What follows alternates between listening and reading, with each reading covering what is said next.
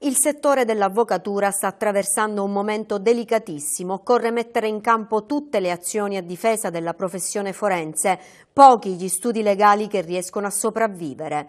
A parlare di mondo dell'avvocatura in stato comatoso e per tutta una serie di ragioni è oggi al nostro telegiornale l'avvocato Filippo Marciante, recentemente eletto nuovo presidente della sezione Saccenze dell'ANAI, Associazione Nazionale Avvocati Italiani che a Sciacca conta una cinquantina di iscritti e che a livello nazionale rappresenta una delle associazioni forensi maggiormente radicate sul territorio italiano. Questo è il momento in cui eh,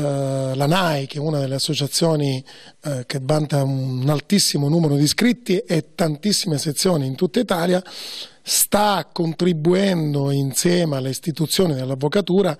a salvaguardare, a, a, proteggere direi ormai proprio la professione perché la grave crisi che sta colpendo il settore ha ridotto eh, veramente in uno stato eh, comatoso, anche persino la, la, la, stessa gestione di uno studio legale. Io penso ai giovani colleghi, penso a, a tanti giovani che dopo la professione impediti dalla uh, ormai chiusura dei concorsi pubblici si affacciano a questa professione e se lei pensa che dieci anni fa uh, eravamo meno della metà e che vent'anni fa c'erano 20.000 avvocati, adesso siamo 240.000 avvocati,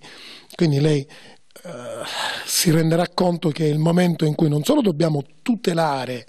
le, eh, i colleghi più deboli, i colleghi eh, più giovani, ma dobbiamo incrementare e sostenere nuove forme nell'esercizio della professione di tutela di questa dignitosissima e bellissima professione qual è quella dell'avvocato. Cosa ha determinato questa crisi del settore forense? Tante sono le cause, sicuramente la scarsa selezione la scarsa selezione ehm, del, che noi stessi dovremmo, dovremmo, fare. Si è parlato di numero chiuso all'università e non è mai stato possibile farlo. Per esempio in medicina hanno risolto i problemi con l'istituzione del numero chiuso. Noi dovremmo pensare, si dice che non è democratico il numero chiuso, invece è assolutamente un principio di rispetto di democrazia nei confronti di coloro i quali si impegnano di più. Io ritengo che i ragazzi meritevoli meritano rispetto ai ragazzi spesso eh, che non eh,